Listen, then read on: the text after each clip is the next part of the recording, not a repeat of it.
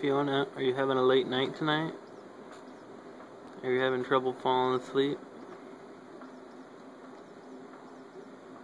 Kind of frustrating, huh? Yeah, it's pretty late for you to be awake.